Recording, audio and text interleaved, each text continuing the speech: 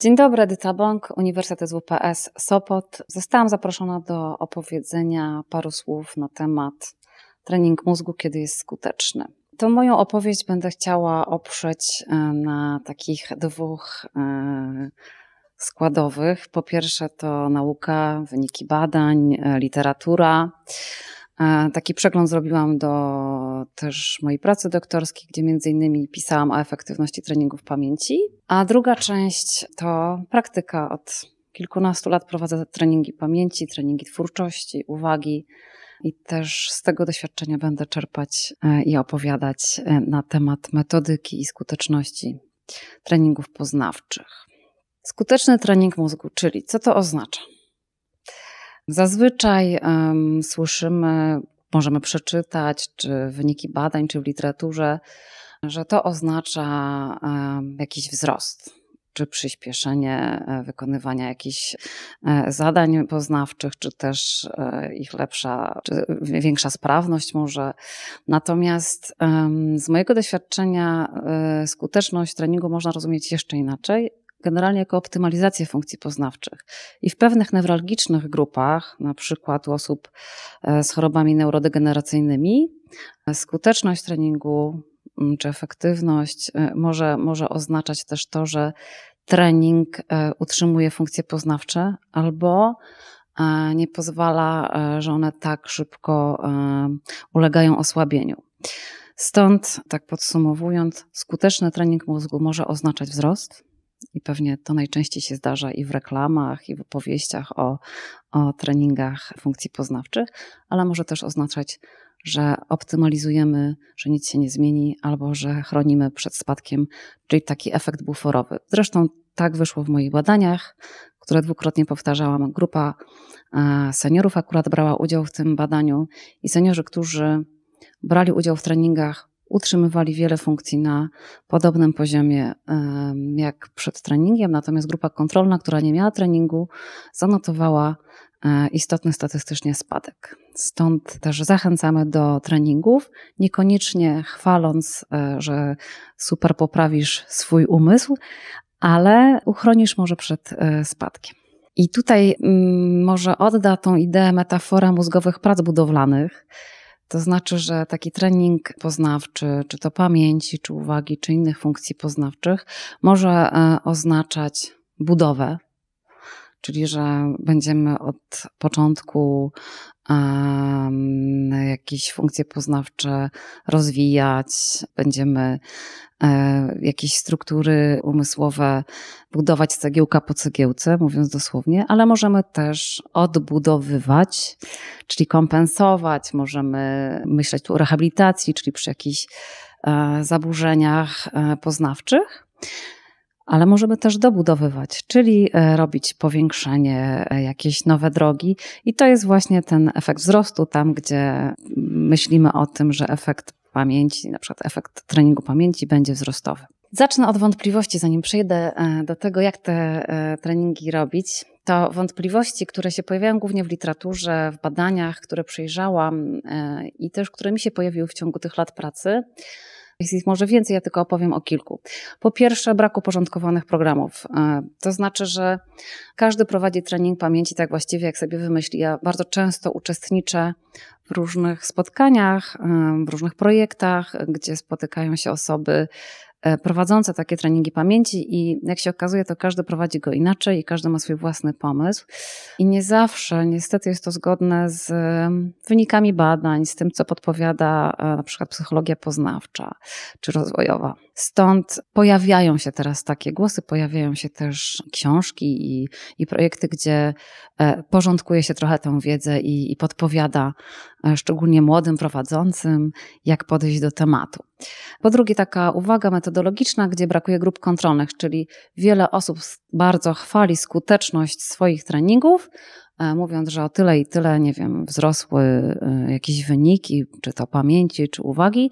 Niemniej bardzo często opiera to tylko na jakichś e, niekoniecznie do końca poprawnie przeprowadzonych badaniach, bez grupy kontrolnej, szczególnie aktywnej, która by robiła coś innego, bo czasami efektem takiego, takiego wzrostu jest po prostu samo wyjście, spotykanie się, czy, czy wykonywanie jakichś w ogóle działań poznawczych, czy może być jakikolwiek inny wykład na przykład, czy, czy zdobywanie wiedzy. Trzecia, bardzo bliska mi e, wątpliwość to brak edukacji, czy dokładniej mówiąc psychoedukacji. Czyli bardzo często te treningi poznawcze wyglądają tak, że jest to taka mechaniczna e, zabawa, niekoniecznie nawet czasami e, dostosowana do wieku, czyli celowo użyłam słowa zabawa, bo bardzo często jest też infantylna, jeżeli chodzi o osoby dorosłe. Natomiast brakuje tam często podpowiedzi, po co to robić, dlaczego, i ja do tego jeszcze dzisiaj wrócę.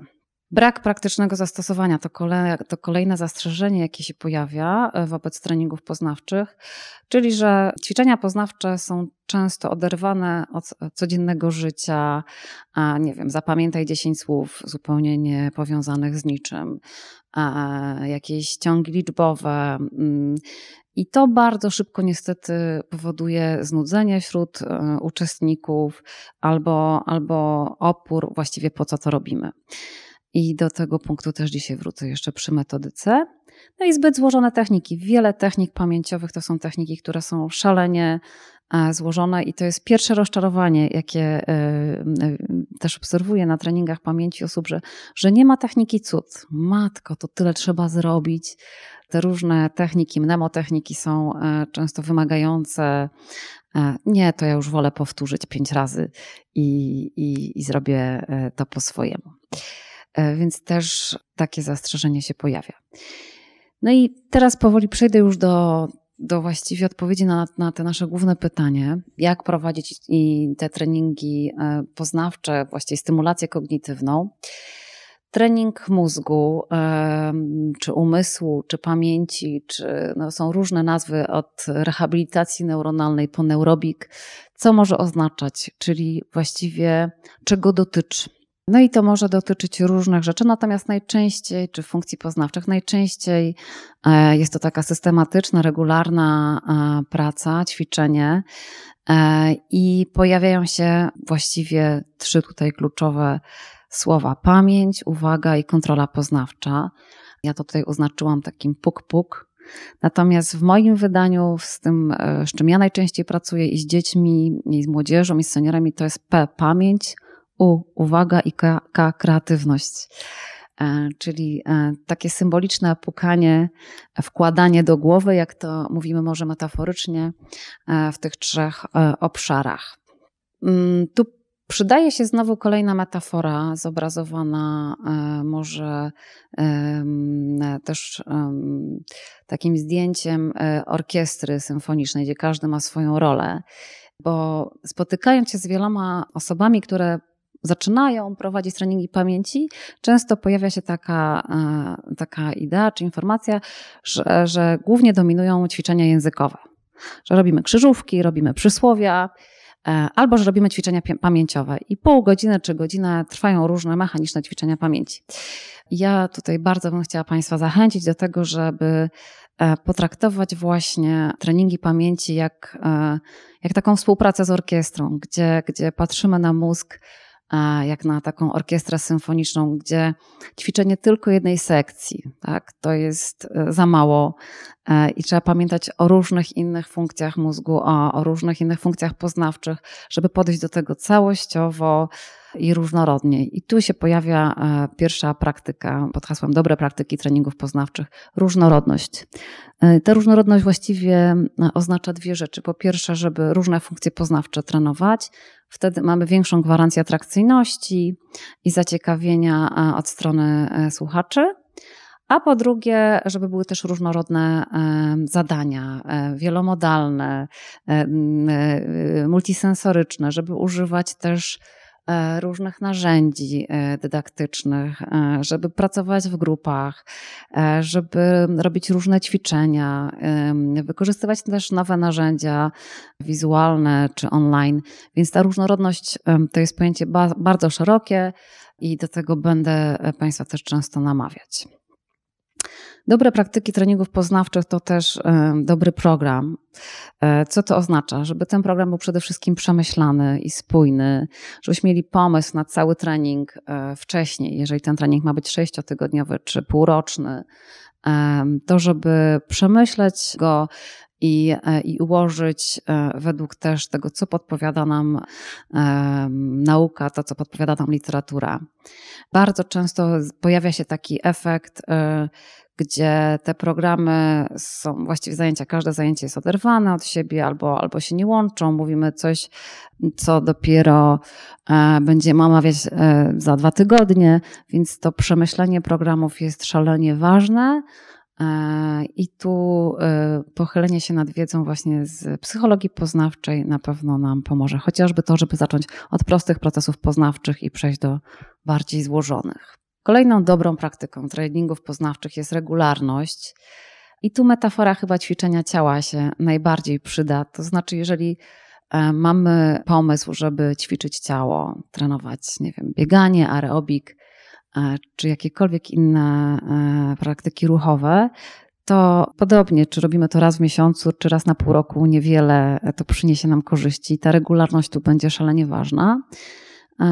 I tak analogicznie możemy przenieść to na treningi poznawcze, gdzie regularne trenowanie czy to pamięci, uwagi, czy mm, e, innych funkcji poznawczych będzie, będzie ważne. No i teraz, jak to może wyglądać czasowo?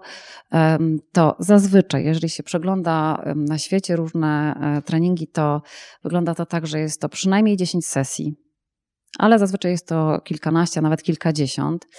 No i taka sesja powinna trwać minimum pół godziny. Trwa zazwyczaj do 60 minut, czasami półtorej godziny, ale wtedy już musi być zapewniona różnorodność zadań, a to praca w grupach, a to indywidualnie, a to trochę humoru, żeby też te półtorej godziny utrzymać uwagę i, i żeby grupa była zaangażowana w tą stymulację.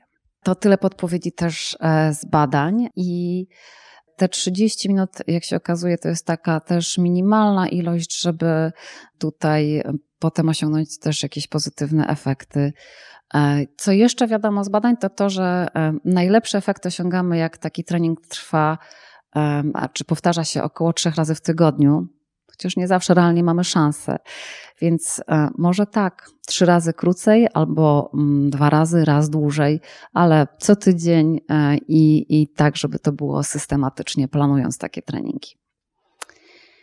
Kolejna podpowiedź, jeżeli chodzi o to, jak przygotować takie mm, treningi e, stymulacji kognitywnej, to e, jak dobierać trudność zadań. I tutaj właściwie podpowiedzią będzie nam odwrócone U, gdzie zaczynamy od prostych zadań, tak żeby uczestnicy poczuli szybkie szybki sukces, żeby byli zadowoleni, żeby nie pojawił się opór na początku, żeby, żeby to była też taka forma rozgrzewki. Tak jak na takim treningu siłowym, czy, czy jakimś właśnie ćwiczeniach e, ciała e, rozgrzewamy e, mięśnie, tak podobnie możemy tutaj podejść do tematu, żeby było coś w miarę łatwego i, i, i rozgrzewkowego. Jest cała pula takich e, zadań rozgrzewkowych, e, które możemy zastosować, które, e, które też są przyjemne, lubiane przez grupę i tu właśnie na przykład te zadania językowe. Potem te najtrudniejsze, to co chcemy, nad czym chcemy popracować, szczególnie w danej grupie czy z daną osobą, planujemy sobie w tą taką właściwą część zajęć. Natomiast zbliżając się do końca, E, ja zachęcam znowu, żeby e, zaplanować jakieś zadanie, które będzie łatwiejsze albo będzie zabawne, gdzie grupa nam wyjdzie z uśmiechem, to, to mamy dużą szansę, że wróci. Mimo, że było trudno w środku, że tam mm, gdzieś może nie wszystko zrobiliśmy, nie wszystko się udało, to jak na koniec będą, mm, czy, czy to ćwiczenia integracyjne, czy jakaś zabawa, czy gra, e, to jest duża szansa, że będą pamiętać ten trening pozytywnie. Przechodząc do następnego punktu, to e, w dobrych praktykach treningów poznawczych e, warto opowiedzieć o elastyczności, o tym, żeby mm, po pierwsze prowadzący był elastyczny, e, czyli jak zaplanuje sobie jakiś program, jakieś zadania, to żeby umiał to dostosować do grupy w takim sensie, że na przykład, nie wiem, pojawi się opór, grupa nie chce wykonać jakiegoś zadania albo nie umie, nie może, coś się wydarzy, to żeby mieć zawsze plan A, B, C i C To jest taka podpowiedź. Poza tym czasami grupy są zróżnicowane. Są osoby, które świetnie szybko wykonają zadanie, a takie, które długo dosyć myślą. Mimo, że efekt będzie ten sam, potrzebują różnej jednostki czasowej. To ten plan B, C i C jest świetny dla tych, co szybciej zrobią. To jak już ktoś skończył, to zapraszam, żeby zrobić coś dalej. E, I to jest też ten element elastyczności, I elastyczność czy, adapt, e, czy adaptacja mm, tych treningów poznawczych e, może też oznaczać to, że te mm, zaplanowane różne aktywności poznawcze będą E, miały możliwość dostosowywania się do poziomu e, naszych e, odbiorców.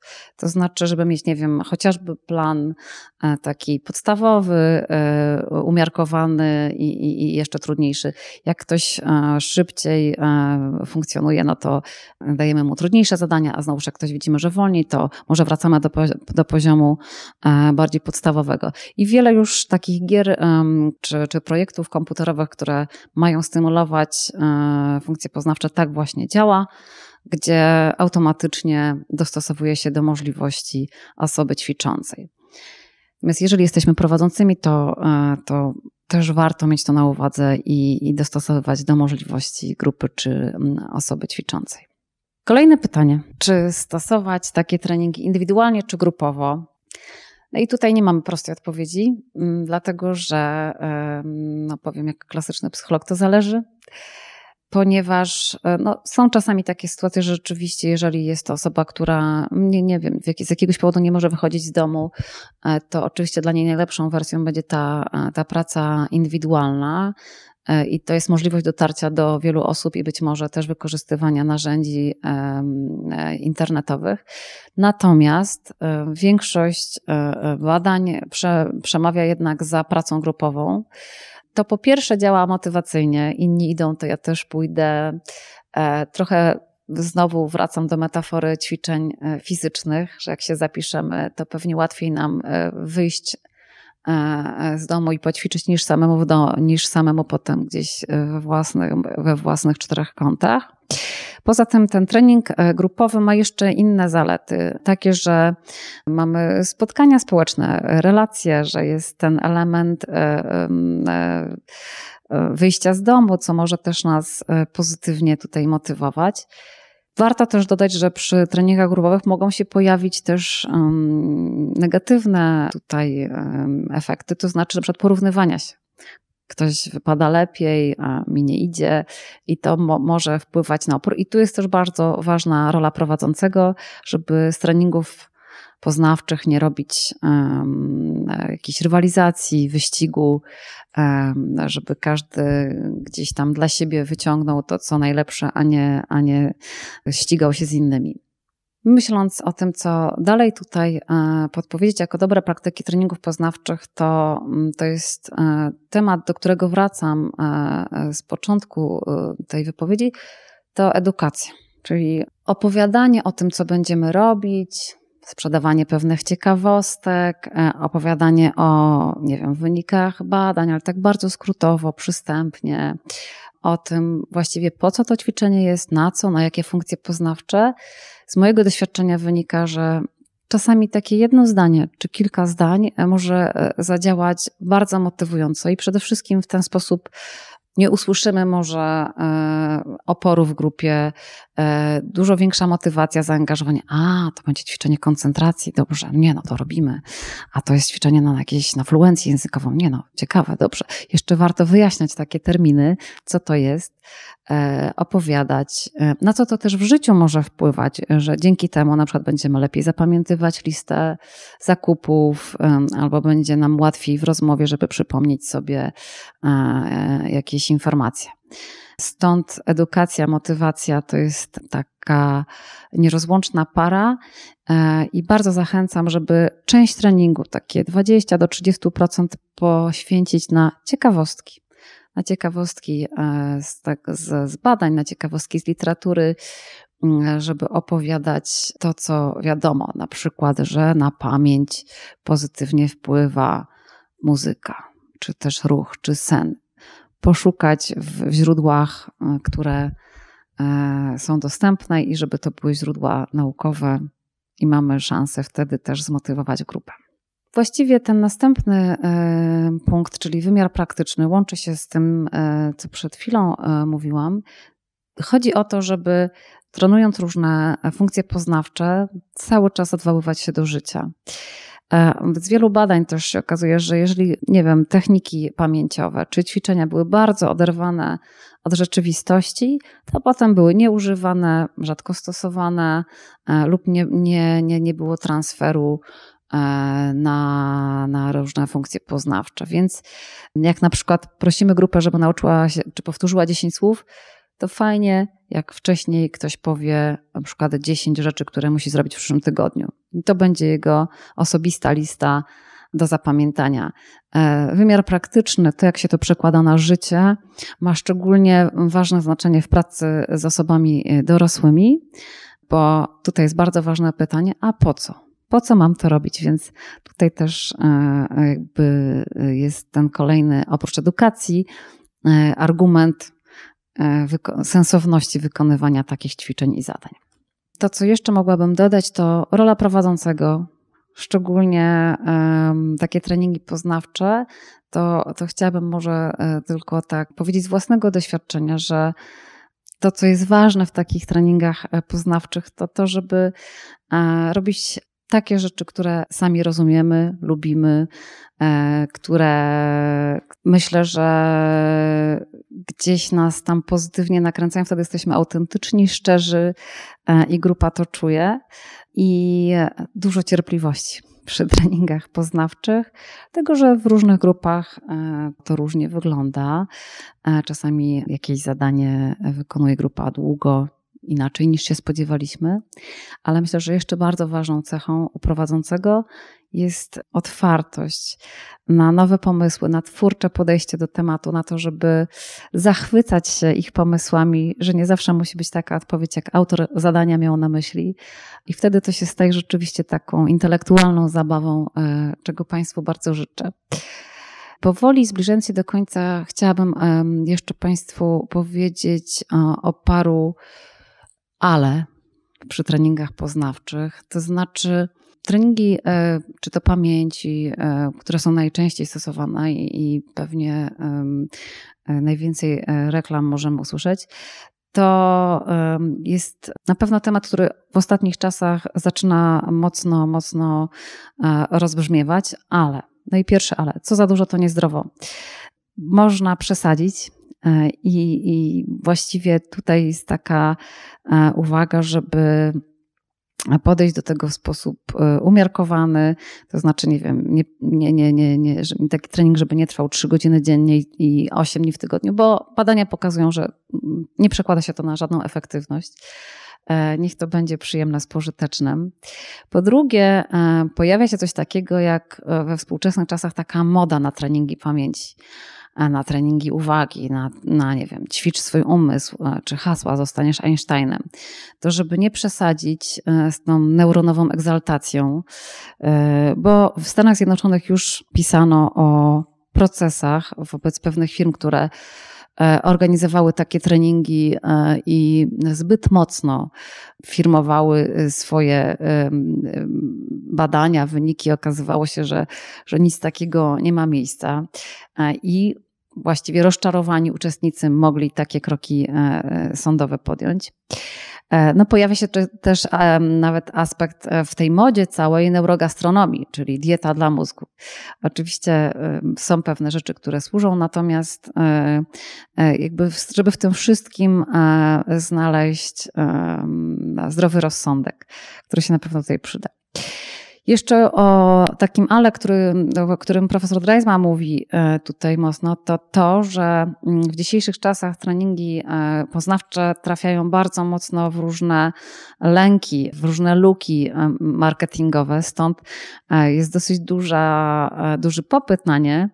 A jak się pojawia popyt, to też się pojawiają osoby, które niekoniecznie, a może do końca wiedzą, jak to zrobić, ale, ale wykonują takie zadania i nie zawsze jest to zgodnie z, z, zasadami, e, zgodnie z ideami treningów pamięci. Więc ja zachęcam Państwa, zanim zaczniemy wykonywać jakieś treningi pamięci, czy prowadzić jakieś inne aktywności poznawcze, żeby zobaczyć, skąd, kto, gdzie i jak.